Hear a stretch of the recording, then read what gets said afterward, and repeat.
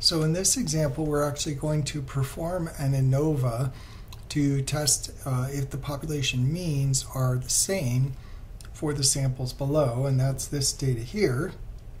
Those are the same data values here uh, that we had up above when we were looking at the basic structure of an ANOVA.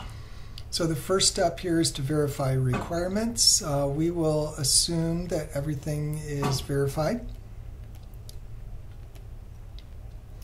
Uh, state your null and alternative. So our null, we've got uh, three different samples here from three different populations.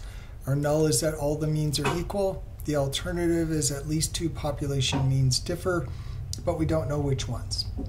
So first we'll compute our F statistic.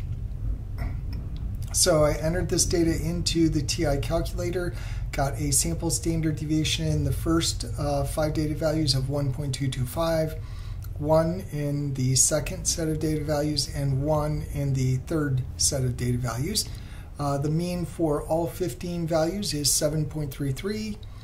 And then from above, we had previously calculated these means of 4, 6, and 12 for set x1, x2, and x3.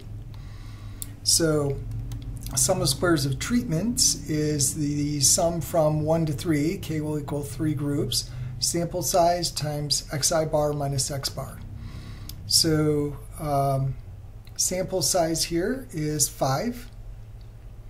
And then uh, x1 bar is 4 minus the overall x bar 7.33. That gets squared plus the number of values in the second set is also 5. That mean is 6. So 6 minus 7.33. That gets squared. And the third sample size is also 5.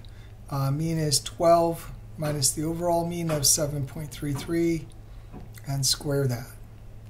So if you enter that into the calculator, you'll get 173.33.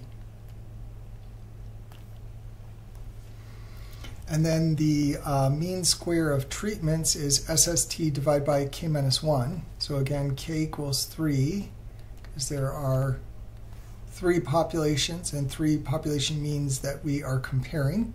So this is going to be the 173.33, and we're dividing by 3 minus 1, or 2. So that will give us 86.67. Uh, now we compute the sum of squares of errors. So 1 less than the sample size, that's going to be 4 uh, times the first sample variance, so that's going to be the 1.225 squared, plus uh, second sample size minus 1, 4. And then uh, for the last two data sets, uh, sample standard deviation is 1, so 1 squared. And then another 4 times 1 squared. So that gives us um, 14.0025.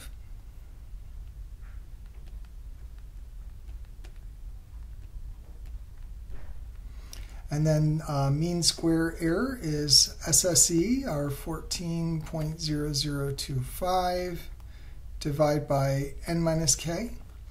Uh, n is 15, and k is 3.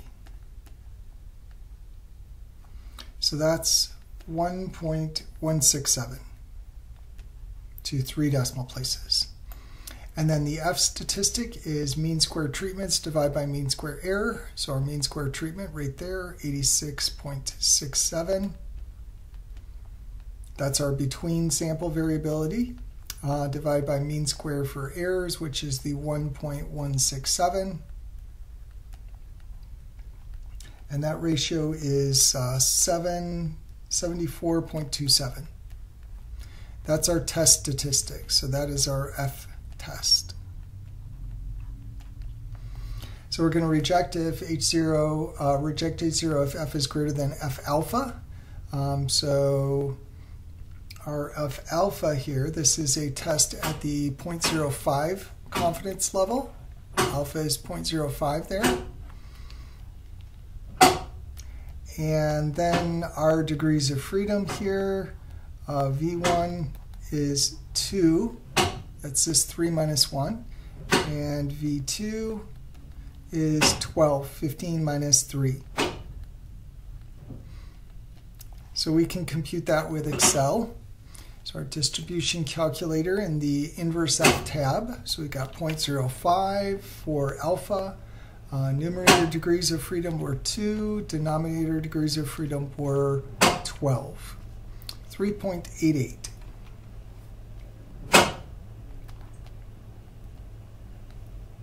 Or I guess if you round it, it's actually 3.99.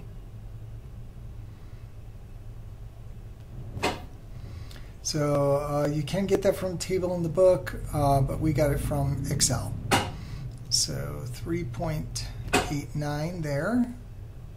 Uh, and then we go ahead and state our result here. So since our F test here,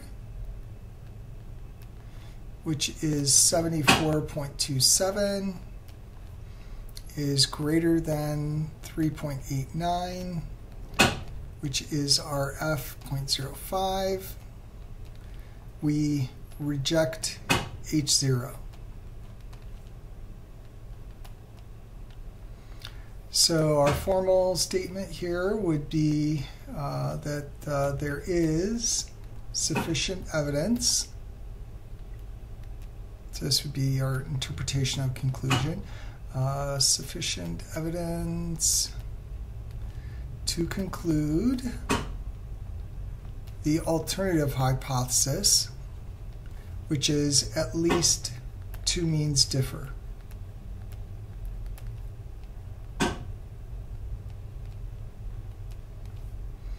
So there's much more between uh, between sample variability than within sample variability.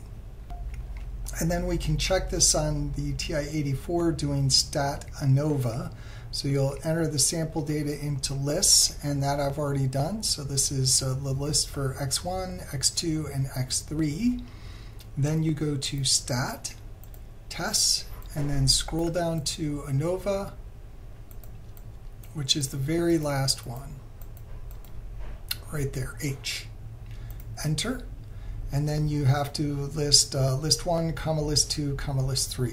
So this will be the second function of 1, comma, second function 2, comma, second function 3, close parentheses, enter.